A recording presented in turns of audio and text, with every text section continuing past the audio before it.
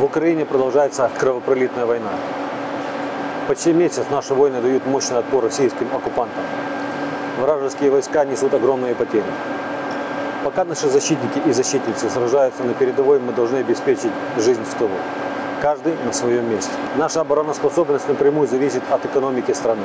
Города и села должны возвращаться к активной жизни, если это возможно и безопасно. А значит, малый, средний и большой бизнес должны работать. Сегодня, благодаря президенту Украины Владимиру Зеленскому, правительству и Верховной Раде, для этой работы созданы все условия. Хочу проинформировать о тех решениях, которые призваны в нынешних условиях помочь украинскому бизнесу. Программа «Доступные кредиты» 5, 7, 9%. Речь идет о кредите под 0% для любого бизнеса на протяжении действия военного положения, а также месяц после его завершения. После этого кредитная ставка составит 5%. Увеличена максимальная сумма кредита до 60 миллионов гривен. Следующий пункт. Поддержка трудоустройства внутренне перемещенных лиц.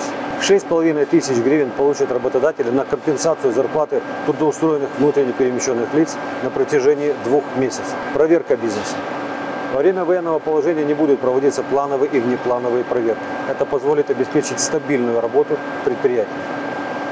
Далее. Дерегуляция бизнеса. Начало и ведение бизнеса в Украине были упрощены. Отныне вместо получения разрешения или лицензии достаточно подать уведомление, декларацию, что предприятие отвечает всем требованиям закона. Декларацию можно подать физически через ЦНАП или онлайн через единый государственный веб-портал электронных услуг. Приложение или портал ДИА. Следующий пункт. Е-підтримка. Эта программа была расширена для того, чтобы помочь тем украинцам, которые оказались без работы и дохода из-за того, что в их регионах идут активные боевые действия. Наемные работники, за которых платится ЕСВ, а также ФОПы всех групп смогут получить одноразовую выплату от государства в размере 6,5 тысяч. Также государство будет компенсировать проценты по кредитам на покрытие расходов, связанных с ведением сельскохозяйственной деятельности предприятиям, земельным банкам до 10 тысяч гектаров.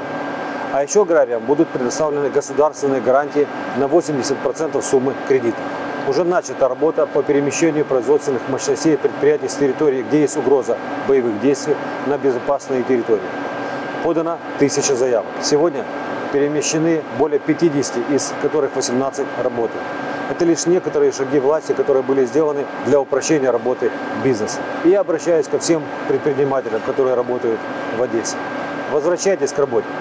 Магазины, парикмахерские, кофейни, средние и большие предприятия должны работать. Отдельно хочу обратиться к одесситам. Пожалуйста, пользуйтесь услугами бизнеса. Это тоже важный вклад в восстановление экономики нашей страны. И вместе мы сильны. Вместе мы победим. Слава Украине!